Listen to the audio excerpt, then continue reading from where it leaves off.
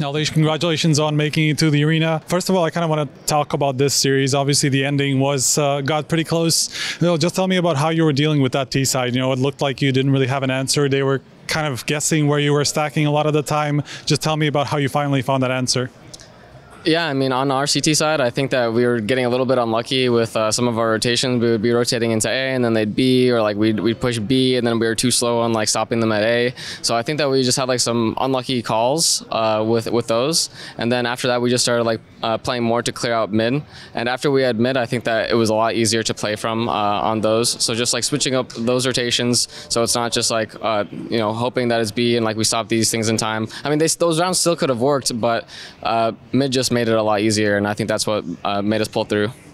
Uh, did you feel like you were kind of getting called out uh, during that for that first period, the, those first eight rounds that they got in a row? Uh, on CT side? Or, yeah. Like us, us getting cut out? What do you mean? No, as in uh, um, like as in they, when they where they called uh, where your stacks were going to be, basically. Oh, uh, honestly, I have no idea. If he if he was like calling it, and read it perfectly, then you know, props to him. But I don't think that we were making any like obvious like reads or tells. I think that I, think that it was just unlucky, honestly. Uh, heading into the quarterfinals, you guys have Vitality. I don't know if you know that yet. Uh, that's a team that last you lost to was the the, the Super League Grand Final, the close best of five. Uh, what are you expecting this time around? This event we've already beaten two teams that we like haven't been before which would be like spirit and now FaZe so i think everything's lining up for us to also be vitality and go on like a, a really nice run. So i'm pretty excited for it. Um, i think that their map pool is going to be a little bit harder for us. Uh, it's not like as like favorable as like uh, some other matchups that we could have had, um, but you know we're really excited to play into into that game and get another team down that we haven't been before. Um, how much, how confident are you guys? You know, because obviously you had that run towards the end of the end of the year, had that runner-up finish at, uh, at Blast World Final. Do you feel like you're up to that form? You know, where you could be again, kind of in a, in a place to contend for titles? I think that we're pretty close. I think that we're still like a little bit not there yet. Like, but we're obviously like easing into it really fast. Uh, you know, prior to the Spirit game, I would have I, I, said that we were like a six or seven out of ten maybe, and now this game I think we're like seven, eight out of ten.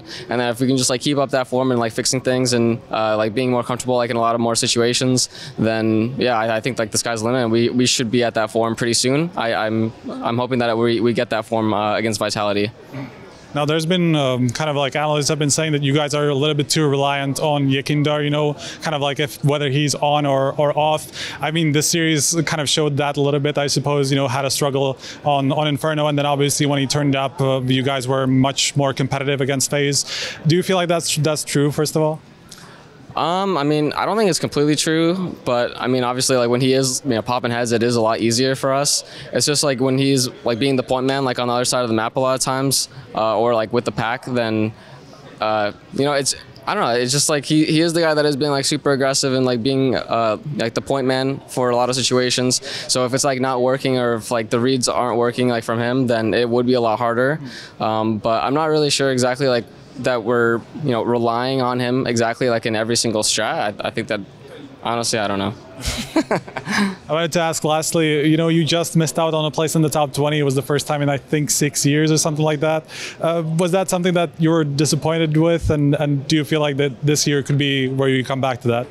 Yeah, I was definitely disappointed. You know, having like a long streak like that uh, definitely sucks to be broken. But uh, it's also a lot more motivation to try to get like as high now that I can. Uh, I play a, a, lot better than I did last year, and uh, you know, from World Finals going into now, uh, I was hoping to carry that momentum forward from Blast World Finals, but having a shaky uh, start to the to this year definitely hindered that a little bit.